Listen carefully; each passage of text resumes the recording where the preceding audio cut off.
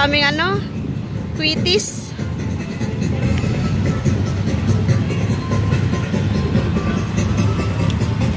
The City of Binyan. Hmm, galing.